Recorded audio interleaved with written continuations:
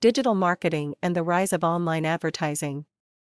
The future of advertising is the internet. Bill Gates considered amongst the smartest men alive. Bill Gates couldn't have put things more distinctly.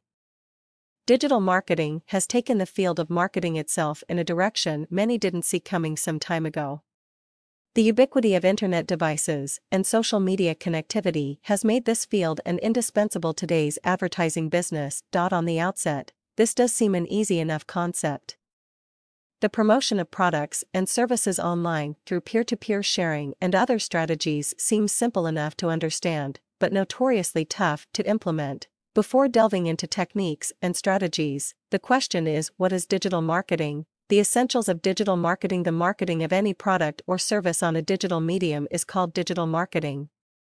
The medium can be computers, mobile phones, tablets, or even iPods. There is a reason why such marketing overpowered traditional advertising.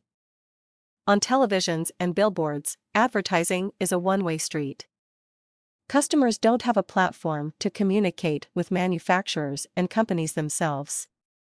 This gap in communication is eliminated by the internet online platforms selling products like Amazon and Flipkart rank products based on consumer ratings and allow customers to give in-depth reviews about the product in question. This creates a direct line of communication between consumers and manufacturers as the latter is able to grasp what the former truly needs. Strategies and techniques as mentioned above, digital marketing might seem straightforward but involves a large amount of planning. Some techniques used by the individuals to increase the online visibility of a website are mentioned below. 1.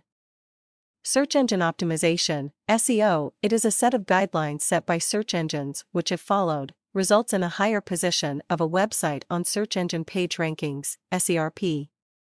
These guidelines include factors like keyword density, backlinking, domain authority, etc. 2.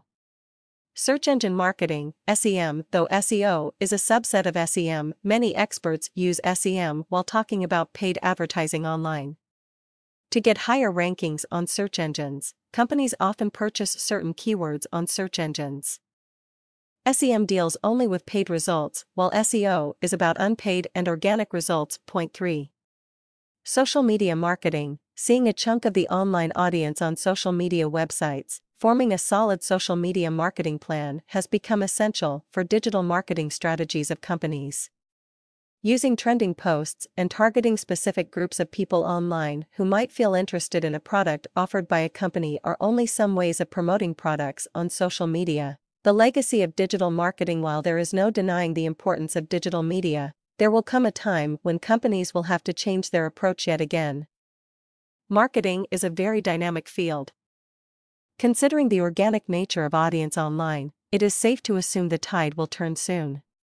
Whether digital marketing chooses to swim or drown remains to be seen.